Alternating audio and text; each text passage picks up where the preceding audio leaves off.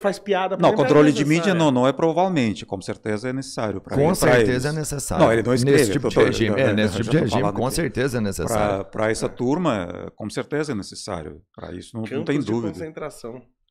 De- deixa eu te perguntar uma coisa. Teve um, um- um período que Stalin quis industrializar a Rússia, certo? Né? E aí eu vejo muita gente, é, inclusive eu que sou da área de metalurgia, os autores russos são uma referência pra gente. Você tem uns trabalhos incríveis em metalurgia Sim. de pesquisadores russos. Os caras são muito bons.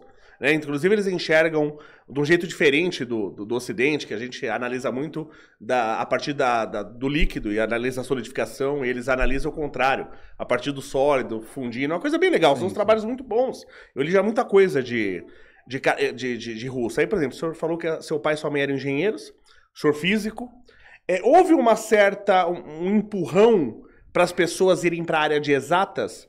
Sim, Tá? sim, sim. E, e você não via muita gente, por exemplo, na área de artes, por exemplo, indo para a área de artes? Porque eu tô falando isso porque os, os artistas são os que mais apoiam o comunismo. E no comunismo eu vejo é onde tem menos espaço para arte. Me dá essa impressão. Caraca, Né? real. Ah, Não, Porque, por, por- por um lado, o, o governo comunista sempre precisou da engenharia Sim. e das ciências exatas para criar armas, né? sim. E ninguém discute a qualidade dos cientistas russos. Para que, que eles discute. resolveram industrializar? Para fazer lá o ferro, máquina de lavar para as pessoas? Sim, Não, para fazer tanques, né? sim. Ah, O tanque não é o tanquinho, né? É o blindado. Não, não, é- não é tanque de lavar É. roupa. Tanque para invadir depois outros países. Sim. Ah, porque Stalin já sabia que a guerra ela era praticamente inevitável.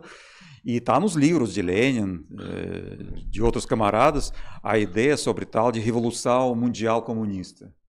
Eles achavam que a União. Sim. Soviética foi só o primeiro passo. o primeiro passo. Sim. E daqui a uns Mas a- anos, a- algumas décadas, eles dominaram o planeta inteiro. Né? Até no, no, no símbolo lá do heráldico Sim. da União Soviética, com foice e martelo, que está no fundo? É, o, o O planeta. o planeta mundi. Terra, né? Planeta. E o símbolo comunista em cima do planeta. Sim. Aquilo é o nosso objetivo. Mas a o maioria todo- dos cursos disponíveis em universidades eram cursos de exatas. Não, tinha tudo. Sim. Tinha, tinha tudo. Tinha lá filologia, biologia, Sim. eh, e tinha grandes universidades só de engenharia. Por exemplo, na minha universidade não tinha engenharia. Era uma universidade que a gente chamava clássica. Tinha ciências exatas, eh, ci- ciências na- naturais, eh, biologia, química. eh, tinha parte de... Mas tinha uma faculdade de teatro, por exemplo.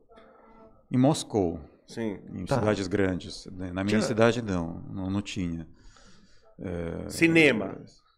Também, em Moscou. Tá. Tinha, O cinema O devia pessoal ter que fazia. é pra... Porque cinema, fazer a propaganda, é. Mas era nichado, não, era cinema, bem nichado. cinema soviético até, até tinha coisa interessante. Né? Vladimir, Porque- assim, perguntando pelo- das, das faculdades que você tinha lá, o direito lá era usado de que forma? Então, a gente tinha faculdade de Direito e para mim era um grande mistério, sabe? Eu Pra que que nunca serve isso? Pra que que serve aquilo? Então, o- Essa foi a quê? mais inteligente que eu vi o Robertinho fazer. Muito boa. Essa foi muito boa. Muito boa, porque é verdade. tinha- lá não tinha o Não, judiciário. porque- não, não, claro, o claro, claro que advogado não. servia para que Não, tem, situação tem lá? direito civil, né? O povo se casava lá. Ah, entendi. Porque Tinha- propriedade não existia. tem. Mas tinha Herança divórcio. não tem. O cara Herança podia não divorciar, por exemplo. Tinha divórcio. Sim. Tá, Pra então o advogado casar, fazia pra isso. se divorciar, Sim. né? Uns pequenas causas. na Tinha, tinha homossexual?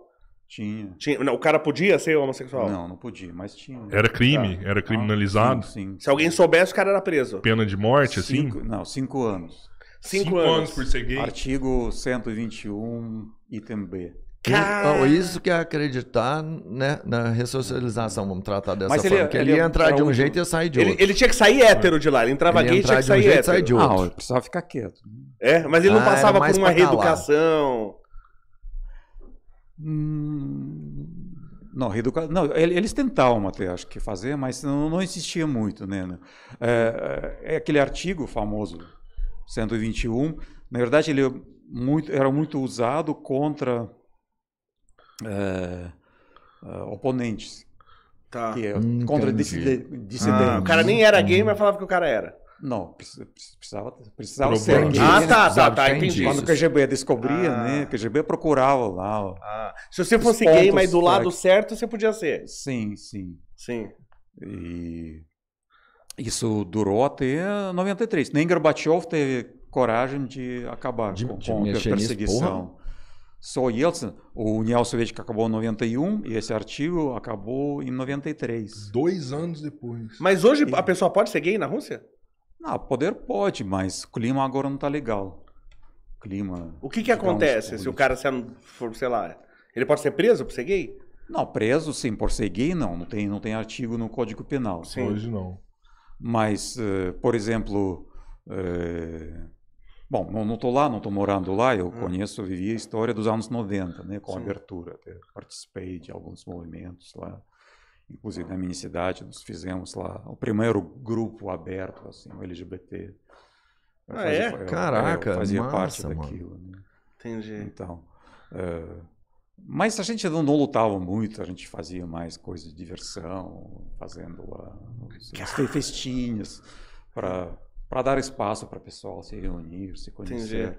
Era mais Ah, uma não. confraternização, era mais É, de é, aceitação. Um fizemos grupo um mais de aceitação do que de. Sim, de... não, primeiro de passo é sempre, sempre de- esse. aham. Fizemos um festival de cinema. Pô, que massa, o mano. prim- primeiro Você na, participou, na, na? Rússia. Que, Cara, isso, isso aí é foda, mano. É, mas parece que estava abrindo, abrindo, mas depois voltou a Aham. fechar. Agora já. ah, Não, eles fizeram ago- agora, acho que uma lei que não fala abertamente que isso não pode ser homossexual, que é proibida propaganda Sim, é, tem isso ainda. É, sei lá. de homossexualidade, como se alguma fosse coisa uma assim. apologia a alguma coisa. E se você andar lá, sair na, na rua lá de uma forma um pouco mais explícita, digamos, né? Aham. Alguém já pode interpretar isso que está fazendo É. propaganda e alguma criança pode ver. Entendi. É como se fosse aqui, há um tempo, sei lá, é como se fosse atentado ao pudor. Você está agredindo, é, sei lá, de alguma forma, a, a imagem de alguém.